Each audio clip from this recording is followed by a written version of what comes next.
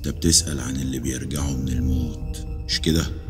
انت ما تعرفش حكاية الأشخاص اللي تظهر بعد نص الليل وبيتمشوا في الوحدة؟ ده شبح فعلا. ما هو الأشباح بس اللي بتختفي بالطريقة دي.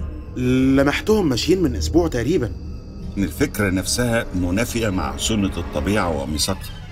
لازم من وجود الموت لاستمرار عجلة الحياة. الجثة أكيد في المشرحة.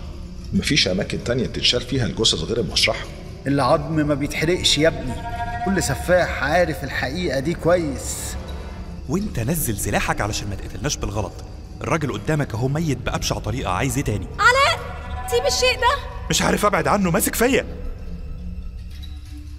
أيوه أنا كده فهمت كل حاجة.